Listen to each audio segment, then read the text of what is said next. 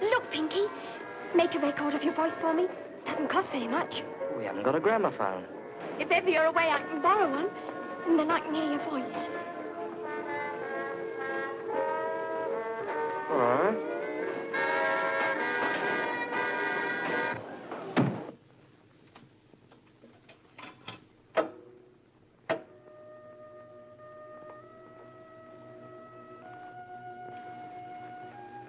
You asked me to make a record of my voice.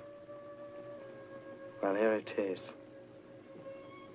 What you want me to say is I love you. Here's the truth. I hate you, you little slut. You make me sick. Why don't you get back to Nelson Place and leave me be?